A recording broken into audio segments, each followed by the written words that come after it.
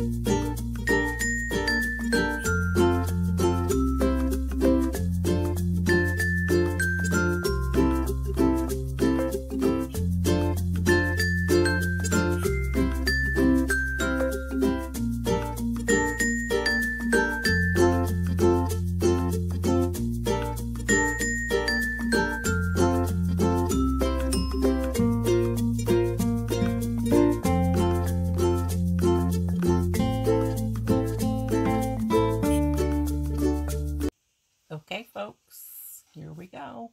Swatch time. So here it is on the parchment paper. It's super sheeny and it really, this paper does pick it up. This is Strathmore parchment paper. There's that sample. And here it is on the vellum. And this was definitely puddled everywhere. So it's not completely dry. I think it looks super cool. I love the abstract look of this. And I also enjoy doing it, so. And those will go in my planners at some point. So here is the swatch on my, in my, I should say, um, Taroko Shop Enigma 68 GSM Tomoe River Paper. It's super duper gray and sheeny, and it's a really nice opaque gray. No feathering on this one. So it could have been, could be just the pens that these two, made these two feather. Anyway, super nice. It didn't feather in the, these two, by the way, did not feather in my, what's it, what's inked up book log that I keep. So there's that little nugget. And then here it is. We're going backwards. Here it is. An ink sample. Actually written with the pen that I inked up with. And it's super sheeny. It's really picking up the sheen there. I hope the camera will pick it up but it really does show the sheen. So that's pretty sweet. And then we have it in my Hobonichi. You see the yellow? The Hobonichi Notebook 52 GSM Tomoe River paper. I know it, I repeat that, but there are a lot of people who are not familiar and let's say they just tune into one video so they wouldn't know um, the difference between the papers, so that's why I like to just mention that quickly. So this Snowstorm Shimmer shows up very nicely as well on this paper. I'm glad I reinstated this logbook. So, super nice. And then last but certainly far from least is my trusty Leuchtturm 1917, which I um, took my fountain pen logs out of my bullet journals from 2018, the gray one, gray Leuchtturm, 20, and then I have a pink one that's 2019 and 2020 current. Um, and I did a bullet journal in 2019 in there, and I did not do a bullet journal in there for 2020. I just set up a bullet journal, started doing that in September, so I have it set up for October, and I've been using it, a bullet journal, but not in a Leuchtturm, in a Sumpken notebook. So, in case you were wondering. So I have all my logs together, basically, now. I tore them out and tipped them in. And this actually shows up sheeny in the Leuchtturm as well. And again, I don't know if the camera will show it, pick it up or not, but it's definitely in person. You can see it. So, and on my swatch card,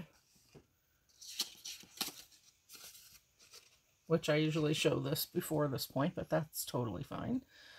It's super, it's a super dark gray. Very, very opaque. It has some black or deep, deep gray throughout. And it shows the shimmer for sure. It's a nice gray. And I'm not a gray person per se. But this is a, a really nice gray actually. And then here is the pipette. Super sheeny, super shiny, and super shimmery. This is one of the Shimmer ink varietals that come in the blue edition. So you have Shimmer, you have Standard, you have Sheen, and you have Shimmer Sheen in the blue edition. I hope you can see that okay. Trying to hold it still. There you go. I think that's a good shot. Okay. And then I inked up in this beauty. I got this quite some time ago. This is the Blue Macaron. I only have, well, I have several Lamys. Um, but only a few because I'm so silly. But the way I do things, if I don't, sometimes if I don't know about a nib, I'll just, like I did in this case, get the same exact pen with all the nib sizes.